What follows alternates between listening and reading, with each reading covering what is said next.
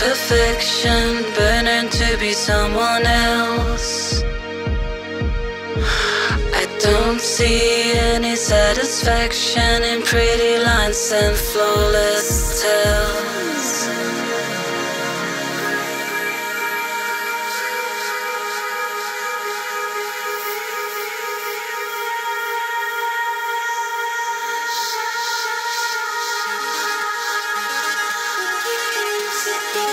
Yes,